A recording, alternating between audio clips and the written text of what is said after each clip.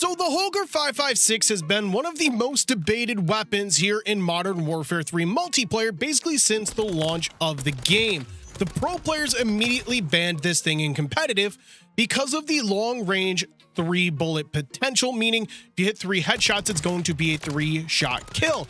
On the other hand, it's not a fast paced weapon whatsoever, and due to the slower fire rate, it has no real viability at close range. And that's where the debate comes in. Is this thing really that overpowered? Is the MCW just an all around better weapon? I guess it's still up for debate. In my opinion, I don't think it's as good as the MCW at all, and I don't think it really needed to be banned from competitive, but that's where the debate comes in. You guys go down in the comment section, let me know what you think. Starting here with my first attachment, I am using the Slate Reflector, and as always, this is a preference. If there's a different optic you want to run, you can run that, or even the iron sights. Down here to a rear grip, I have the Morn 20 grip that's going to give you flinch resistance, recoil control, and gun kick control. The primary reason I'm choosing this one is that recoil and gun kick control, but the flinch resistance is a nice added bonus. It is going to give you 10% across the board there to all of your recoil control, along with 47% there towards that flinch resistance. For my underbarrel here, I am using the Bruen Heavy Support Grip that's going to give you gun kick control, aiming idle sway, horizontal recoil control, and fire aiming stability. That's more or less touching on everything that needed to be covered on this weapon in the forms of recoil control. The vertical really isn't too crazy in my opinion, but it does like to bounce around a lot and this attachment does a very good job of controlling that. For my muzzle, I am going with the tw Scratch 20L suppressor for an increase to that fire aiming stability while keeping us nice and stealthy on the map. This weapon has a ton of visual shake to it, and between this and the underbarrel, this does a fantastic job of controlling that shake. And my final attachment is the Trio 6 match barrel that's going to give you a large increase to bullet velocity and damage range, making your three shot potential even further.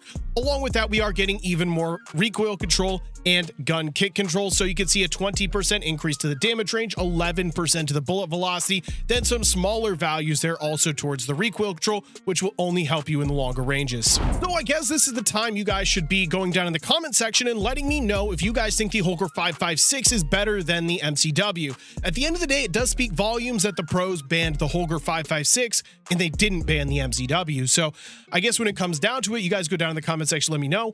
Uh, there's all the attachments as always. Make sure you guys copy that down if you guys want to use it. Here's also the rest of the loadout if you guys wanted to copy this one down as well. Let's jump into a gameplay to feature the three shot Holger 556. Make sure you guys are aiming high, hitting your headshots, and you guys will absolutely melt enemies off the map let's get into it. So honestly, I'm recording right now because I'm a little bored. I have nothing to do before season five comes out. I don't know if this is going to launch during season five or if I'm going to drop it like a little before season five because currently there's like three, four days, I think, four days till the new season. And I've got all my videos done, so I just said, screw it. There's no point in me playing if I'm not going to hit the record button. So that's basically the long story short. I decided to hit the record button and have a little fun. More or less, go for a nuke, try out my new Holger 556 setup. Not much more to really discuss on that front. Playing on some Vista. I am excited for the new maps that are going to be coming out.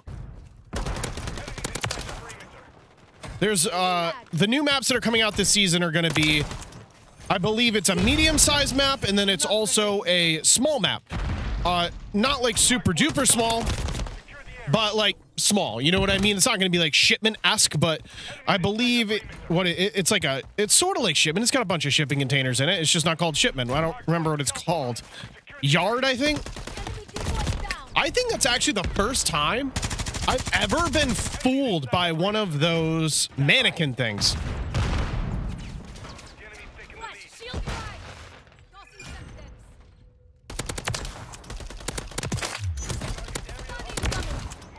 Okay, I may switch over to a trophy system here. I'm gonna rotate around here with the team. I want to destroy this counter UAV if I can find it.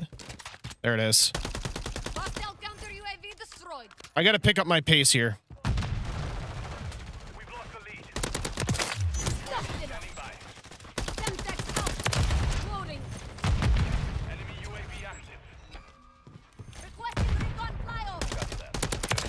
Okay. Not, I mean, I'm in a rocky spot here. in a rocky spot because I'm not using an aggressive weapon. Normally I would use an SMG on Vista because SMGs are definitely the best option. But it popped up, so I said, screw it. You know what I mean? If I can... If I can lock in my advanced UAV here, probably going to be where I get it. You know what I mean? That guy almost got me again. That's a VTOL. I couldn't get away. Oh my goodness, I was one kill away. But we do have the VTOL, so that that's good. We'll drop that right on the hill. That should buy us a few kills here.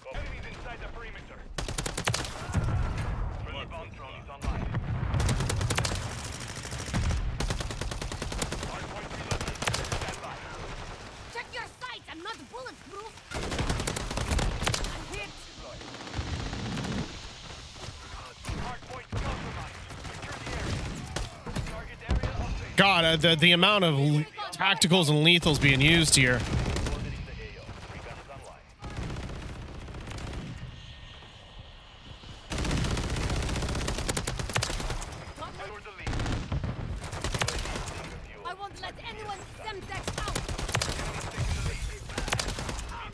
All right, I'm already back in it. We got the VTOL again.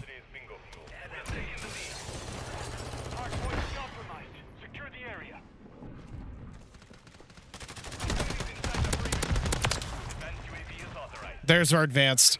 I'm going to hit that right away, I think. Yeah, that was a good move. We're going to go VTOL once again.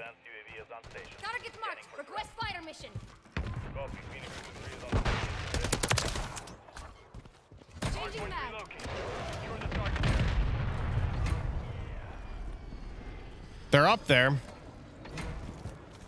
I going to get bad timing? No, it doesn't look like it.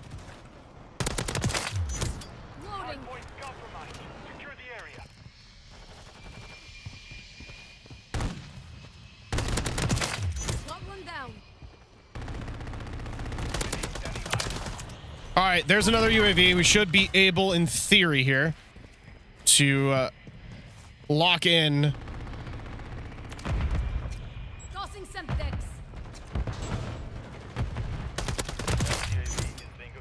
That guy's down below? Yeah, he's down below. I should be able to get at least pretty close to this nuke here. I just got to keep the spawns on my side. I don't know how I want to play this. I'm only on a 17. I'm definitely not as good in good a shape as I thought.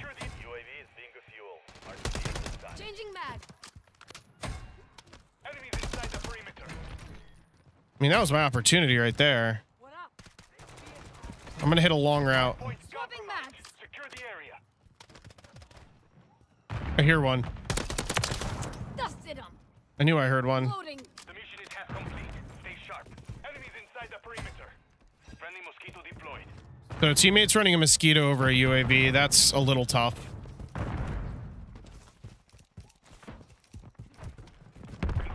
Tough because, oh, okay. So they just got a three-piece nade.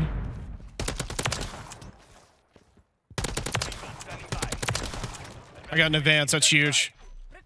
It's huge, huge.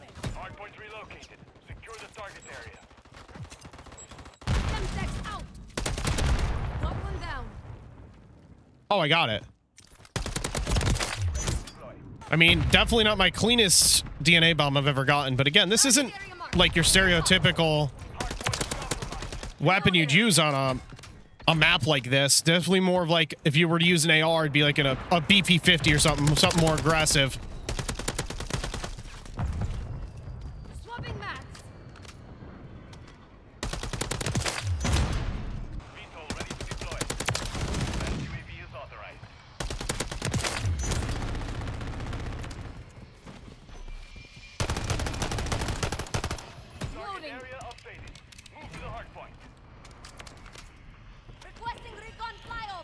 So, as I'm recording this, it's currently COD Champs time, and it's Saturday. So, as of right now, Optic, at the time, it is currently 9.32. So, Optic has officially advanced to the finals. And uh, we're currently waiting on the results of FaZe v... Uh, I'm sorry, not FaZe, uh, Ultra v NYSL And that's going to be an absolute banger of a series too. So after this gameplay, I'm definitely going to be watching that. I've been watching it all weekend. Gonna go DNA here. Just call it in. Why not?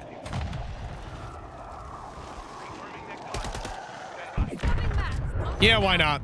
Now we can go with the VTOL, and we're going to chuck that here.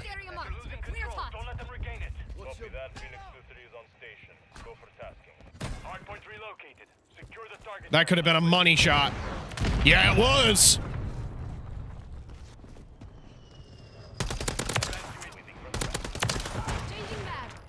76. This, I mean, Rocky Start turned into a pretty dang good game here for something that I didn't really have expectations for. I was just playing for fun. I just, I know better. I know myself too well.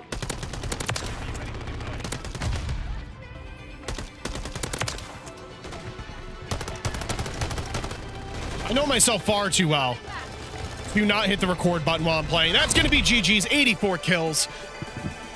I'm excited to watch this next CDL match. It's going to be a good one.